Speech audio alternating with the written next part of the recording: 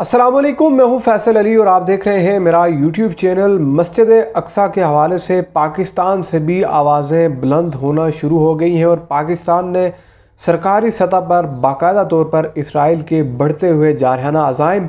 बिलखसूस जो इस वक्त वेस्ट बैंक और जरूशलम जो शहर है, इसमें फ़लस्तियों के साथ इस वक्त गुज्त तीन से चार रोज़ के दौरान जो हुआ है, बड़े पैमाने पर पाकिस्तान की जैसे इसकी मजम्मत आई है। मुस्लिम उम्मा के कुछ दीगर ममालिक, जिसमें बिलखसूस जॉर्डन, जो मस्जिद अक्सा का कस्टोडियन है, यानी उसके इंतज़ाम मस्जिद अक्सा के जो है, वो जॉर्डन के पास है, उसकी जम से बड़ा रद्दमल आया और फिर पाकिस्तान, वो मुल्क है, जिसने खुलकर इसराइली मजालम की सख्त अल्फाज में मजम्मत किया। तमाम तर मामला तफसील से आपको बताएँगे। आगे बढ़ने से पहले चैनल को ज़रूर सब्सक्राइब कीजिए, वीडियो को लाइक करें और बेल आइकन पर ज़रूर क्लिक करें, ताकि आप आने वाली अपडेट से आगा रह सकें और अपने फीडबैक से ज़रूर आगाह करें। गुज्त वीडियोज़ में भी हम आपको बताते आए हैं कि इस वक्त जो मकबूजा यरूशलम है, वहाँ पर हालात कुछ अच्छे नहीं हैं। बिलखसूस जो इलाके मुसलमानों के ज़ेर इस्तेमाल हैं, वहाँ पर या मुसलमानों का जिन पर ज़्यादा इख्तियार है, मस्जिद अक्सा के बिल्कुल सामने के वो इलाके, क्योंकि अगर आप यरूशलम शहर को देखें तो इसके कम अज़ कम बारह मुख्तफ दरवाज़े हैं, जिसमें से एक सबसे मशहूर दमिश गेट कहलाता है, जो मुसलमानों का एक्सक्लूसिवली यानी सिर्फ़ और सिर्फ़ मुसलमान ही वहाँ पर आबाद है और वहीं से वो मस्जिद अक्सा के मामला की जानब इबादत में मशहूर होने के लिए वहीं से जाते हैं, वहीं से उनको एक्सेस दी जाती है। लेकिन गुज्त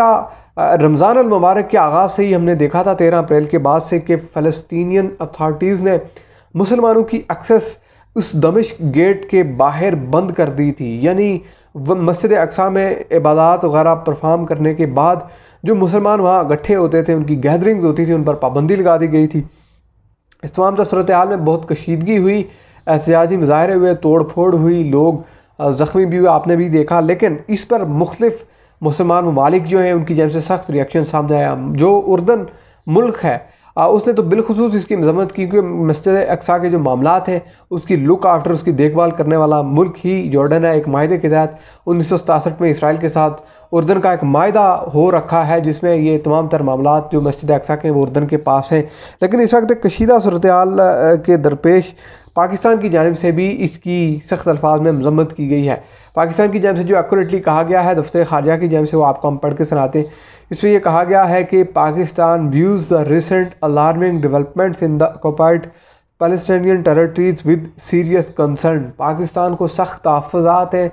शदीद हसास मामला पाकिस्तान इसको समझता है कि ये जो मस्जिद अक्सा से मलहका मकाम जो हैं, वहाँ पर मुसलमानों के साथ जो हो रहा है, जो इस वक्त इसराइल कर रहा है, उसमें कहा गया है कि the statement condemned the violent acts carried out by the occupied forces and urges the international community for the prompt action to protect Palestinians यानी कि आलमी बरदरी से ये अपील की गई है कि इसमें आप अपना रोल प्ले करें। फ़लस्तीनियों की जो हक तलफी हो रही है। यहाँ आप ये देखिए, पाकिस्तान आवाज़ उठा रहा है फ़लस्तीनियों के मामले पर। पाकिस्तान का यही एक कोर्स स्टांस है जो अभी तक इसके, इसराइल की जानब ना बढ़ने की वजह है। एक सियासी जो एक वजह भी है, मजहबी वजह भी है, एक सफारती जो एक बुनियाद है पाकिस्तान की इसराइल के साथ तल्लक ना बनाने की, वो यही है। उसके साथ साथ अहम तरीन जो स्टेटमेंट दी गई है, उसमें ये कहा गया है कि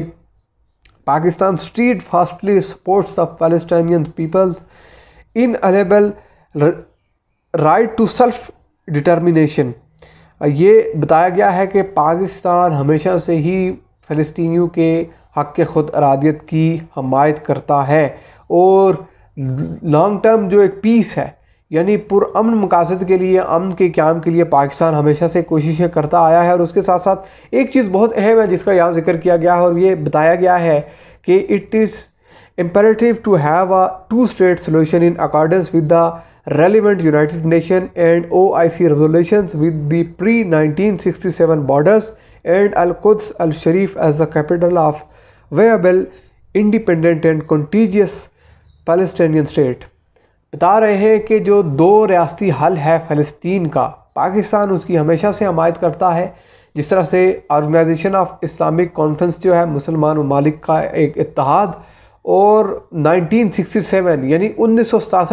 में एक छः रोज़ा बड़ी खौफनाक जंग हुई थी, जिसमें आप अगर देखें तो फ़लस्तीन के वो इलाके जो इस वक्त मकबूजा हैं, जिनमें ज़्यादातर कब्ज़े किए गए, ये इन छः रोज़ा जंग के नतीजे में कब्ज़े फ़लस्तीन के जो है ये इलाके इसराइल के पास चले गए थे। यानी इसमें गोलान हाइट्स भी थी, इसमें वेस्ट बैंक भी था, वेस्टर्न वाल का इलाका और ये जो यरूशलेम सिटी है, इसमें एक ओल्ड सिटी है जिस पर तो इसराइल हटने को तैयार है ही नहीं। जिसमें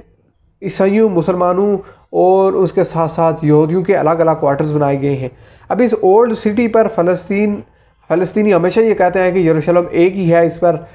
फ़लस्तीनियों का हक़ है, मुसलमानों का एक होली सिटी है मस्जिद अक्सा है, तमाम तरह सूरत हाल है। लेकिन यहूदी हमेशा से ये कहते आए हैं कि ये एक अलहामी जो एक लैंड है, एक ज़मीन का हिस्सा है, जो सिर्फ़ कौम है, बनी इसराइल का, इसराइलियों का यहूदियों का है। उन्नीस सौ में क्या हुआ था? एक अरब इसराइल वार हुई थी, बड़ी खौफनाक शेरोज़ की जंग, जिसमें इसराइल ने बड़ी हद तक इलाके कब्ज़े में लिए थे। शाम के बहुत से इलाके थे, इसमें गोलन हाइट्स का इलाका था। बिलखसूस फ़लस्तीन के साथ ये जो, बिलखसूस ये यरूशलेम शहर, इसको अपने कब्ज़े में लिया था। पाकिस्तान इस वक्त ये कह रहा है कि हम हमेशा से ही उन्नीस से पहले की पोजीशन के हवाले से हमायत करते आए हैं, उसी की हमायत करेंगे। फ़लस्तीनियों की और ये हमारा कोर स्टांस है। अब उन्नीस की पोजीशन यहाँ मैं आपको नक्शों में दिखा दूँ तो आप देख लें कि क्या सूरत हाल है। उन्नीस से पहले इसराइल कितना सा था, कितनी आबादी थी, कितना इनका कब्ज़ा था इस तमाम तर इलाके पर। और अब उन्नीस के बाद से आप देखिए तो किस हद तक ये कब्ज़े बढ़ाते हुए इन्होंने पूरे फ़लस्तीन को ये खा गए हैं? यरूशलेम शहर पर इनका कब्ज़ा है।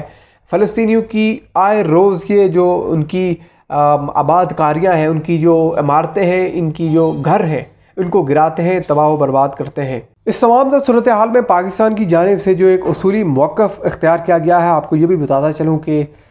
ईरान, सऊदी अरबिया की लड़ाई जो एक सर्द जंग भी है प्रॉक्सी वार भी है और उसके साथ साथ ख़त्े में जो एक ताकत का तोज़न है, वो ज़ाहिर अमरीका का है और उसमें सऊदी अरब, अरबिया का इन्फ्लुएंस अमरीका की जानब है। अमरीका है ईरान के ख़िलाफ़। लेकिन पाकिस्तान और सऊदी अरब दो ऐसे ममालिक हैं जो अभी तक फ़लस्तीन की आज़ाद रियासत का मतालबा भी करते हैं, उसके क़्याम के लिए ये मुख्तफ प्लेटफॉर्म पर यह आवाज़ भी उठाते हैं और इसकी वजह यह है कि दो रियाती हाल का मतलब यह है कि एक रियासत अलग फ़लस्तीन की और एक इसराइली रियासत जो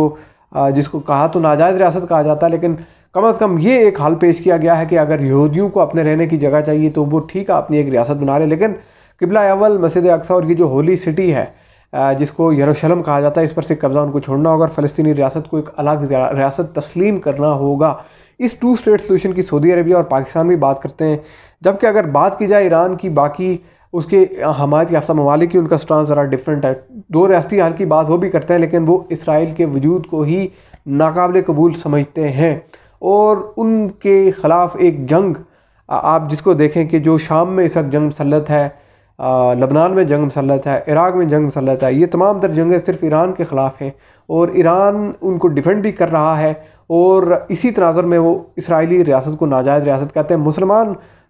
सारे ही तकरीबन इसको नाजायज़ रियासत कहते हैं, लेकिन अगर हम सफारती और सियासी अदवार से बात करें, जिस पर मुल्क कोई पॉलिसी लेकर चलते हैं, सऊदी अरब या पाकिस्तान या ओ आई सी जैसे ममालिक, वो फ़लस्तीन की एक दो रियासी हाल को कबूल करते हैं, जिसमें इसराइल और फ़लस्तीन दो अलग अलग रियासतों का मुतालबा किया जाता है। चैनल को ज़रूर सब्सक्राइब कीजिए, वीडियो को लाइक करें और अपने फीडबैक से ज़रूर आगाह करें। अल्लाह हाफिज़।